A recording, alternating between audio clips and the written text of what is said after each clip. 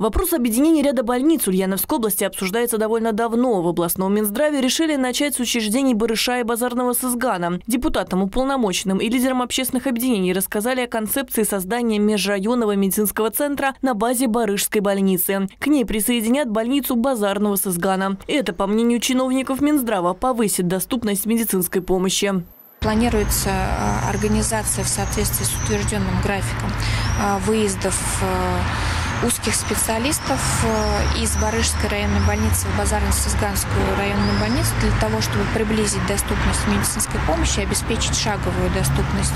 Специалисты основываются на анализе работы больниц за полгода, осмотрели демографическую ситуацию в муниципалитетах, доступность оказания медпомощи и кадровую обеспеченность. В базарном Сызгане катастрофически не хватает узких специалистов и нового оборудования. В Барыше с этим все в порядке. Напротив, маммографы, томографы и флюорографы не работают в полную силу из-за небольшого количества пациентов. Базарном Сызгане с точки зрения э, функционирования районной больницы, там, как большие проблемы с кадровым составом, понятно, там, со специалистами СУСКИ. Все это как раз, собственно говоря, и призвано решить э, создание этого центра. Поэтому здесь вопросы мы эти, соответственно, фиксируем. Эти вопросы, соответственно, будут решаться на уровне уже объединенного центра. К уже имеющимся оборудованию планируют закупить дополнительные аппараты УЗИ, ЭВЛ, суточного мониторинга давления, чтобы их можно было транспортировать в базарный Сызган.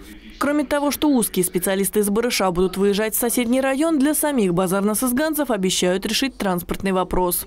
Для обеспечения комфортности э, пребывания врачей в Базарно-Сызганский район э, и возможности, обеспечения возможности транспортировки при необходимости э, на консультации или на плановую госпитализацию в Барышскую районную больницу по узким специальностям, это акушерство, гинекология, неврология, кардиология и так далее.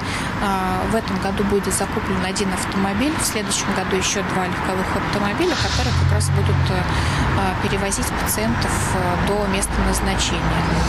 Также в Минздраве заверили, ни одно структурное подразделение не закроется, а будь то поликлиника, женская консультация, стационар или ФАПы. Все они будут работать в прежнем режиме. А присоединение даст жителям возможность проходить лабораторные и диагностические исследования и у узких специалистов.